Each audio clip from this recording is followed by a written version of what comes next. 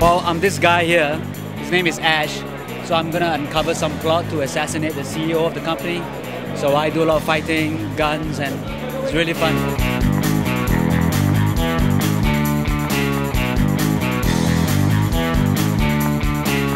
It's awesome. So easy, so easy. Kick my butt so His many left hook is his left hook is legendary.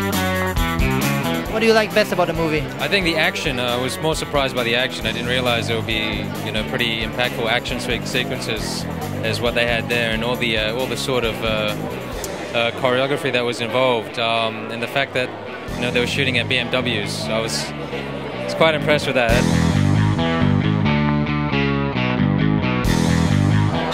the assassin and uh, the other guy.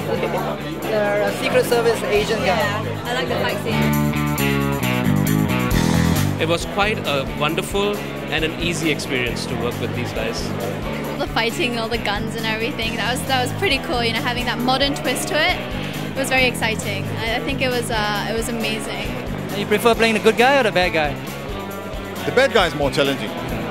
I guess the main challenges would be uh, the budget to begin with, and then our age. Because uh, when people look at us, it's like, okay, I don't believe that you can make this kind of films, you know. Uh, there's a lot of logistics involved and manpower, and it's really trying to bring all those things together and uh, trying to uh, find the humanity out of all of that, uh, all of that nonsense, you know, and trying to use the script as the story as the backbone and trying to piece everything together. Uh, And for independent films, especially ones like this with such a really low budget, it really takes a lot of time.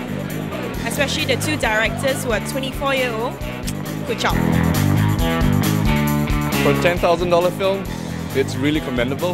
Um, well, you know that ten thousand things really amaze everybody on, on set. So um, very good job, and with that budget, I, I think it's the best thing you can get. unbelievable.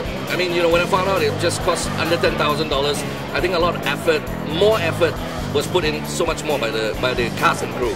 So it's just an amazing job. Directors are really talented, and I think uh, I can't believe they are so young, only 24. Great. I, I think it's a breakthrough for, for a local production to be to be like that. I've never seen like um, an English local action movie. I mean, you know, made here, and I think it's Better than Crime Watch? I mean for the ten thousand dollars budget, I think you can do such a wonderful effect. I'm very impressed. Very impressed. You say? Yep. I don't believe the budget they're doing.